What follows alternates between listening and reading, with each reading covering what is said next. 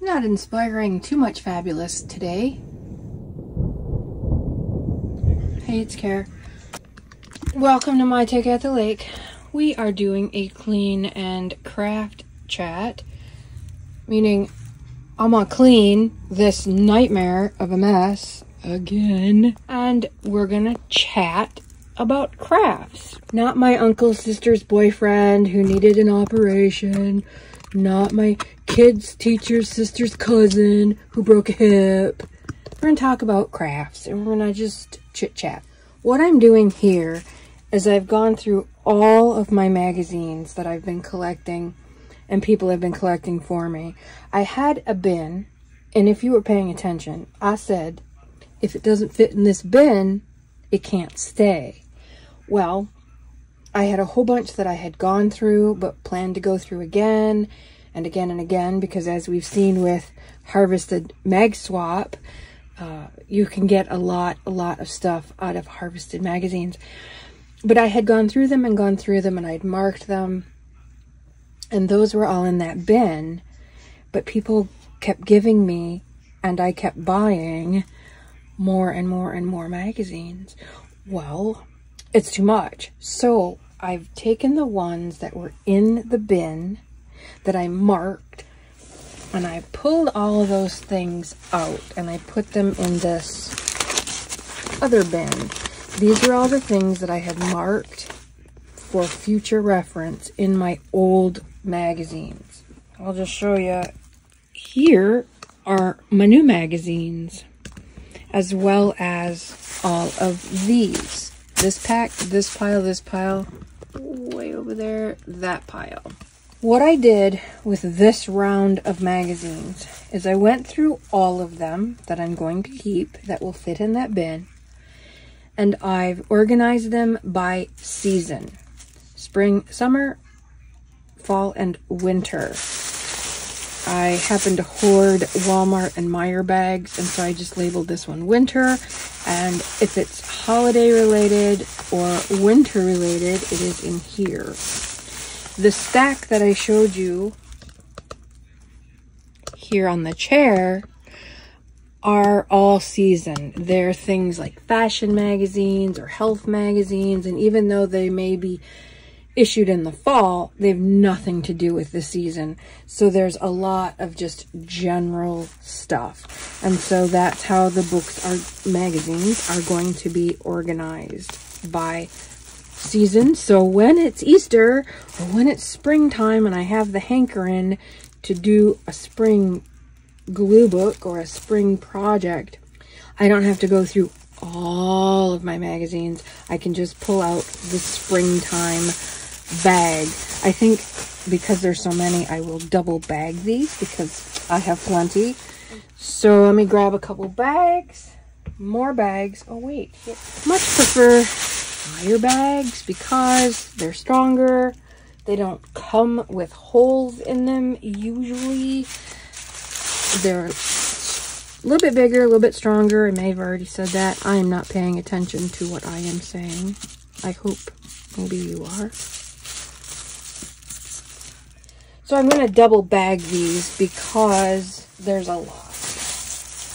And when I put them in the bin, I'll put them in the order. So spring will be first. So it should be easy access. It's always my goal is easy access because if I can't get to it, I won't use it.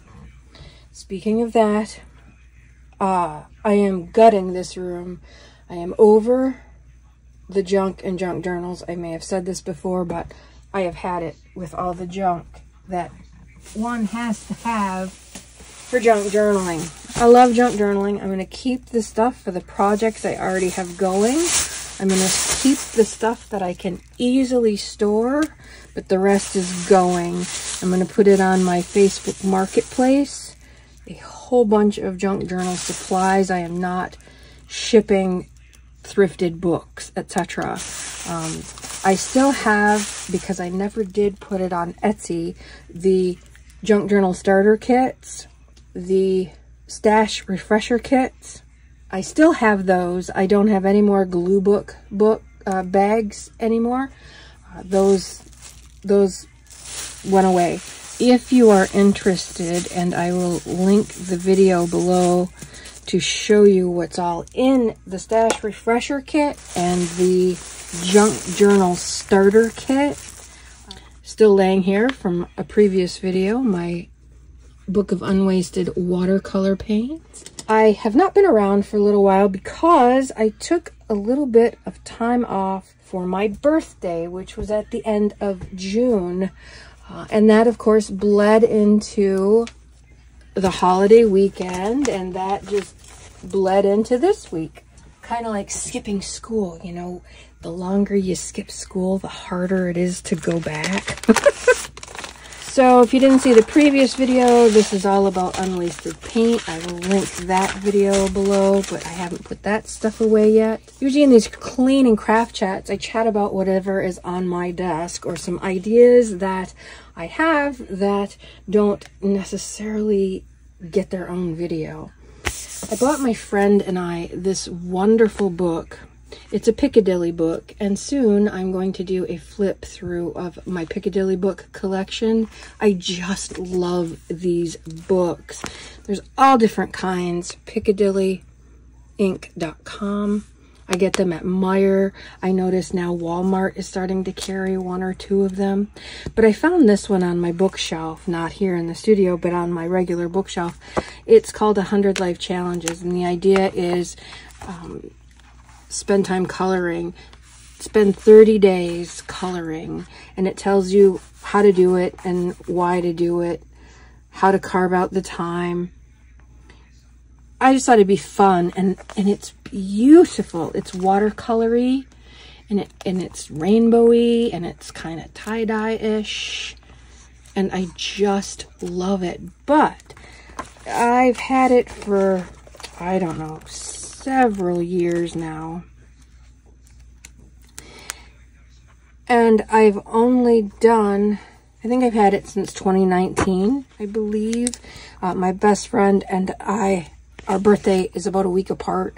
And so I got us these for our birthday in 2019. And I've not really done anything with it. But I love these trackers. It doesn't have to be a sweat tracker because when you tear the page out,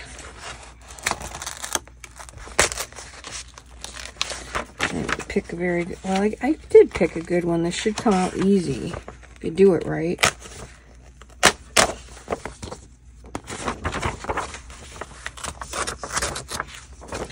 Now it's just a tracker. It can track anything. You could tuck this into any sort of any sort of journal, a bullet journal, a planner, a, a glue book, anything that you want to track, you can now track. There's a hundred of these in this book.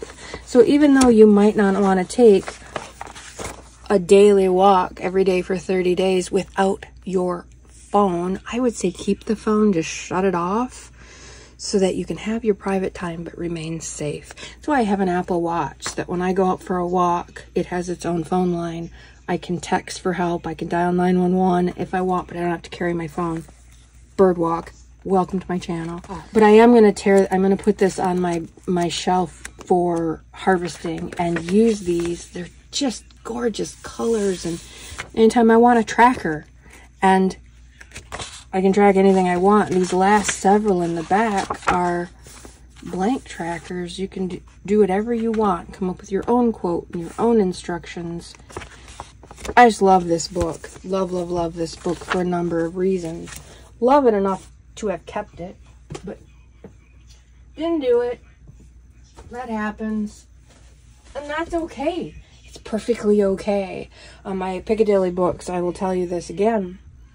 When I show you my Piccadilly collection, some of them I've had for several years and I'm just now doing them. And I am loving it. So stay tuned to the channel for that. Make sure you're subscribed, please, and hit that notification bell because uh, I notice uh, myself and a lot of other YouTubers have said that for some reason the views have gone way down. I mean, they always go down in the summer, but not like this. So for some reason, the algorithm's not pushing the videos out. And if you don't know enough about YouTube to go looking to my channel for the video, you won't know that it's out there unless you hit the, sub the subscribe and the notification bell. So I have been organizing mom and me play dates for a while now. I, you know, a lot of times when we get together, it's either with our extended family, which is great. You know, we play games and we sit on the porch and we eat junk food or whatever, but or another other times when I get together with my mom, we're we're doing chores or I'm doing tech support or we're I don't know, doing miscellaneous life work. And I want us to just play. She's an artist. She's a crafts person. She's always been into arts and crafts. I've been trying to get her into glue booking. I think she would love it. Um, and so the last couple of our mom and me craft dates have been harvesting, tearing up magazines, and she seems to really like that. But for whatever reason, the last one we did, I was not in the mood for glue booking, which is unusual because I love to glue book. But I was in the mood to do something else. And I have a whole bunch of these little, they're, they're coffee, instant coffee packets because, you know, I quit drinking coffee a long time ago and switched. First I did half coffee, half tea. Excuse me, half coffee, half green tea in one cup. And that worked for a while. And then I just went to green tea and I stopped drinking coffee. Well, once in a while, it just has to be coffee. And so I got myself several boxes of these. I didn't want to go full on back to coffee. Last mom and me play date, I collaged all of them. Now, all of these are Folgers boxes. I just took my shoebox full of vintage colored scraps because the last time I reorganized my studio, I organized it by color. Vintage, which are the browns, blacks, creams, tans, ivories, anything that looks old-fashioned black and white, or color. And so I've got bins of vintage papers and whatnot. And so these are just scraps. The inside of the Folgers thing is already kraft. So you don't have to do much to it, especially on a vintage project because yay, we love kraft. I love these little guys because they already have a spine. So all you do is take the box apart. There's always a little seam. I just run my thumb down that seam and it opens up. Usually all you have to do is cut off that piece or you can leave it. That makes a nice little pocket and it already again has a spine. These are kind of you know they're little. You don't have to reinforce that but you could if you wanted to. And i just wanted to show you uh, all the different ones that i came up with. Some of my scraps were bigger than other pieces of my scraps. So that's what that one looks like. So the spine on this one got decorated as as did the back. This uh, obviously is from a composition book, but it's coffee stained, so it's not quite so bright white. It's just coffee stained. This one was kind of a large scrap. That was pretty easy. This was a backdrop page uh, when I was doing other things, so there's pieces and bits from working on top of it. This is just little pieces. So, the spine. I love the different fonts, the newsprint, old book print, some script, some French, all kinds. Um, this is a large scrap. So that was easy, and that's what it looks like there in the spine. And then some vintage cooking. This, These pieces are from when I bought my house, there was a 1950s oven stove in here, and it still had all the paperwork. And this, this 1950s owner's manual of whatever kind of, I think it was a Hotpoint oven, was still in my basement. And over the over the last how many years it got all vintagey, and I finally tore it up and did something with it. But all this is natural natural aging, which is awesome. Dear Homemaker. So this one almost has to be a little tiny, either 1950s journal or a cooking journal or a, a lady's journal of some sort. I just think it's so cute. I love little projects like this because they're not very intimidating. And if you look, it's not perfect. Nothing here is perfect. It doesn't have to be. And that just adds to the charm of these little guys. This one could be, I like to let the cover sometimes dictate what the what the theme of the journal is because having this is almost like a blank slate. Oh, what do I fill it with? What do I do with it? Oh my God, there's so many choices. Well, if I let the cover choose. It could be a dragonfly journal. It could be a vintage and green journal. Just old fashioned, this color, um, army sort of green. Wouldn't that be pretty? Just kraft paper, coffee dyed paper, and images that have this color green in it. That would be awesome. Could be old newspaper clippings too. It could be a field guide like birds and bugs and things like that. So there are all kinds of options. Don't fear the blank slate. Not one of them is perfect. The edges are not trimmed. The ones that I cut are not perfectly straight. That's all alright. It just adds to the charm. I left one blank so you could see how they started. And you don't have to have six of them. You don't have to wait till you have six of them. Uh, this took a lot longer than I thought, by the way. I thought, oh, I'll just do this. This will be quick. It took the whole afternoon. I wasn't rushing, but it took longer than I thought. Uh, even though it was, because you have to make, you still have to make some decisions, you know, what to stick where, and yeah, there were decisions to be made. I can't seem to just stick stuff on. There are, there are very popular junk journalers who just grab and stick, grab and stick. Shit is sideways, it's upside down, the purple's next to the burgundies, the blues next to the oranges. I mean, no rhyme or reason. Vintage mixed with new, mixed with bright, black and white. I, I can't. I can't do it. So my process takes a little bit longer because I have to make some decisions when I'm doing it not necessarily. And I, you know, I, I do like eclectic things. That's not to say eclectic isn't cool. I love eclectic, but there still has to be some design to it. Uh, some very, very popular people don't seem to have a clue about design. like, good, who cares if it's six times bigger than the page calls for? I'd like to show you this that I got. More international mail. How fun is this? This fun. Can you guess who it's from? With the queen there? I won, I'm happy to say, and this is very funny, that I, I often say, you know, this the saying, great minds think alike.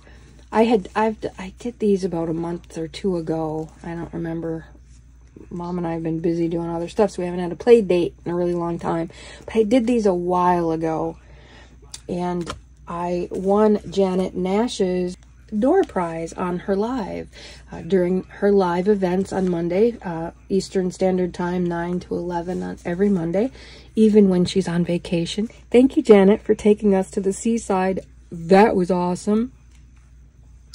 But she asked me if I wanted a journal card I think she was making a journal card or an ATC and or a little journal. And I said, oh, I'd love a little journal. And so the little journal came in the mail. Same little kind of box, has its own little spine in it. And she, she just does the funnest things, I think. Um, I'll pull this little guy out. This little guy out. So this little, she decorated it with bits of fabric. And of course, painted gold on there. There's, you can see she's, she spat her gold in it because she does that. So she did that on the box. She left the flap like I talked about on this one. You can certainly do that. So it can just sit on the shelf like a box. That is so cute. So she didn't take it apart, she just cut up one side. And then she used some of her painty papers. And here you can really see the gold. It's light, light, light green. It is so pretty. I'm thinking it's unwasted paint that she used. And these are fold outs. So even if your paper is a little bit too big for your journal, just fold it and you have these lovely fold outs. You see all the gold? Look how pretty that is. There's the center of the signature and this cute, cute, cute little button sewn on two pieces of fabric. If I remember correctly, she did that because this chicken ended up upside down. Yep, there he is. I'm gonna I'm gonna expose the chicken because I remember watching her make this and she goes, Oh, my chicken's upside down. Oh, that's okay. We'll just cover it up and put a button on it. What a lovely thing. Uh, can you see that? Beautiful. It's a safety pin with some beads, a sequin, and a tiny little leaf so cute. And this fabric is just folded in between it and glued to the page. Simply sewn in. More, she left these on for texture and, and um, visual texture as well as physical. Lots of gold paint. So cute. Inside here was some of her chicken fabric and some leftover scraps that match you know, from the inside. So if I wanted to do page tabs or something, I could do that. To Care with Love from Janet, Freddie, and Flo. Also in here was this beautiful little card with a little Frenchie and a stack of books. Isn't he wonderful? He's so cute. And some paint. This looks like to be from Daphne's diary, I think. And then a nice dyed piece of old tea towel, I think. This almost looks like her, she did um, ice dyeing on a hot summer day. She took a whole bunch of, I don't know if this is from that, but she took a whole bunch of material and she wadded it up with rubber bands and whatnot and she put it in a bowl of crushed ice and and then sprinkled dye powders all over the ice. And in the hot sun, as the ice melted, it made these different dyes. What a fun project to do on a hot summer day. Now, I don't know that this is from that, but it sure looks like it. It's got the ring here and the, and the, uh, oh, sort of starbursty kind of effect. I'm kind of muddled because I thought there was a, a steampunk dog, a steampunk Boston somewhere. Oh, he's here. I knew he was somewhere. There he is. This is this is the envelope, the back of the envelope that this goodie box came in. Uh, but if you'll see, it's it's a reused envelope, uh, statements enclosed. So it's from a bill. Painty papered it and collaged over it. Beautiful happy mailbox, post box, Van Gogh's, beautiful flowers, bright and beautiful. Some original designs, some plant drawings from Janet. Well, she, she glued that on. So cute. And the last thing that was in there, wrapped up in this wonderful tie-dyed fabric, were these also coordinating, you know, that just, that just sends me, coordinated paper clips. Very simple, torn bits of fabric folded in half, stuck through a paper clip, and either glued or sewn, button sewn. That's entirely optional. But then I can take those beautiful buttons, and it was all tied with this very pretty iridescent ribbon. I can take these beautiful paper clips to my little journal, and they just add such a nice I could put them on the side. I could put it on this closure. So fun. I just think they're adorable. And there's three of them. Those are easy things you can do with tiny bits of torn fabric and paper clips. Great couch craft, comfort craft, gentle journaling craft, all, all of the above would work. I also have pulled my beautiful collection of markers out of the drawers and put them into mason jars by color because I find that I don't use them because they're not out. So I, I put them out, A, because I love to see all the color, but now they're, they're right here. They're right here.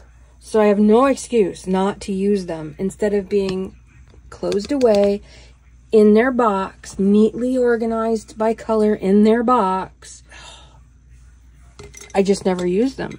Now they're out. I hope to use them more. I've been collecting and collecting for Colors Glue Book, and I love the primaries, the brights. Then you come across things like this. I have a succulent glue book going that I've been collecting for. I haven't started it yet, but all succulents. Do I put this in there? It matches these colors quite nicely, although they're a little bit muted. Do, what do I do? I don't know. I'm just going to put them all in one and I'll figure it out. But I'm collecting anything that are these four bright colors, the primaries plus green. So I'm also organizing truckloads of images because I've been harvesting all those crazy magazines for so long. The good news is, is I'm reclaiming my studio. The good news is I'm getting rid of a lot of stuff. So again, if you want a junk journal starter kit, they're 20 bucks. Uh, that covers the stuff inside them and the $11 tracked insured shipping. I don't want any surprises at the mailbox, so I just use envelopes that are one size fits all. It's $11 no matter how much stuff is in it. And I have crammed as much stuff as I could possibly cram into the, into the bag so that they'll go through the post. If you want one of those, drop me a comment below and then send me an email at mytakeatthelake at gmail.com and I will get one out to the mail to you. Do it in the next week or two. Today is uh, July 10th. Hopefully this will be out in the next couple of days because I'm selling it. If if you want one, get them now because I'm getting rid of them all. I'm not having them in my house anymore. So let me know in the comments below and then send me an email at mytake at the lake at gmail.com. Uh, I am also cleaning house figuratively. I want to streamline things here on the channel. I am working on some other big projects right now and so I need to make the My Take at the Lake stuff as simple and clean as possible so there may be some changes. You, you may or may not notice them. I don't know. I will keep you abreast, of course. I hope that you're having some fun crafting this summer or winter, wherever you are. Uh, and that you're taking time to explore your crafty side. I just recently, in the last couple days, read a fabulous article about having a hobby or doing some sort of art or craft keeps your brain healthy. And I don't expect to live forever. I don't want to live forever. I want to age well, especially my brain. I see people I know and love all around me who are older than me by a good 20 plus years, cognitively declining and it's painful for everyone around them. It's painful for them. And I don't want that. So anything I can do to keep my brain healthy, I'm going to do. And that means eating well and learning. Follow your curiosity. Keep learning. Learn and learn some more. And do something crafty. Have a hobby. Your brain and everyone who loves you will thank you for it. Go love up your bee sleeves because that is what they're here for. You're so smart.